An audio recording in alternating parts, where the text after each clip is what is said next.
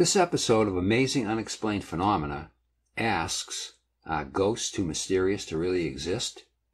One argument you might hear from some people is When we die, we don't go anywhere. That's just the end of it. No afterlife, therefore no ghosts. But what about all the photos of ghosts? What about electronic voice phenomena, which are recorded disembodied voices on a digital recorder? What about all those creepy feelings, like being watched by something when you visit a haunted house?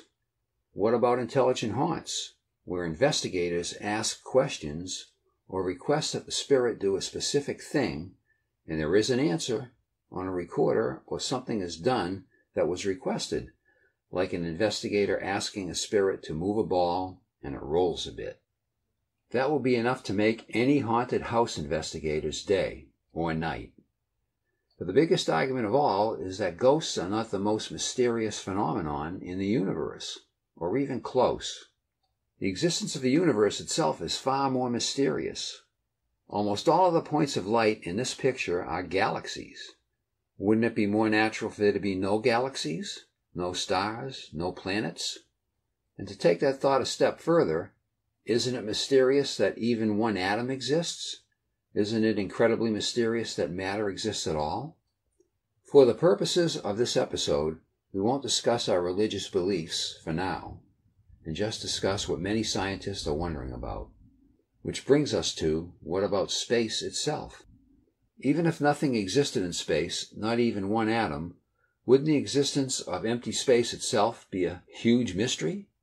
Wouldn't a more natural thing be for space to not exist? Not even a place for even one atom to exist? No space?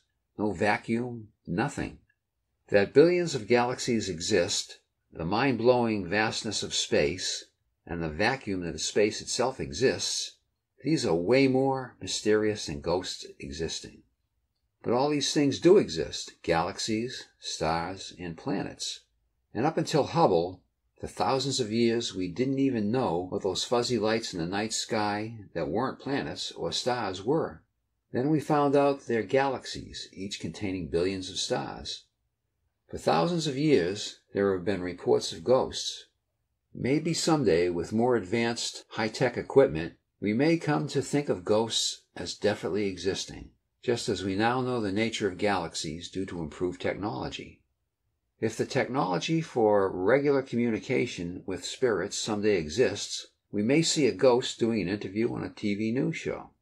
So it's not really all that mysterious that ghosts might exist. We give a high score, an 8, to the probability of the existence of ghosts. They've been reported since humans kept written or oral records, and they are reported by all religions and people in all countries and by all civilizations. But if they do really exist, where is the spirit world? And what exactly is the afterlife? Those are subjects for a future episode of Amazing Unexplained Phenomena. If you'd like to receive notifications of future episodes, click on the subscribe button below. It's completely free and it really helps us if you subscribe. Thank you for watching.